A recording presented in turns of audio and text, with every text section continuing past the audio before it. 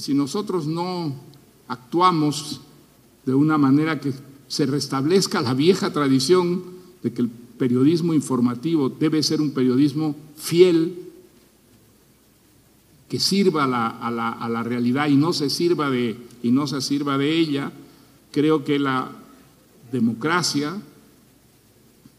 ese sistema, digamos, que es el menos imperfecto de todos los sistemas que se ha creado para hacer progresar un país, puede verse profundamente perjudicado. No, he releído nunca, no he, releído nunca una novela mía publicada.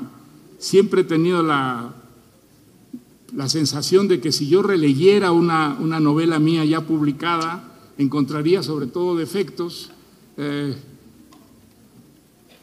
que esa novela ya es incorregible, ya está allí, tal como, como fue concebida. Yo creo que si no hubiera vivido esa experiencia y no hubiera visto de cerca a este personaje al que odiábamos tanto, ¿eh? quienes detestábamos la, dictadura de Odría, probablemente nunca hubiera terminado de escribir esta novela y probablemente no lo hubiera escrito así. A mí el personaje me dejó absolutamente impresionado, parecía tan poquita cosa, había acumulado tanto poder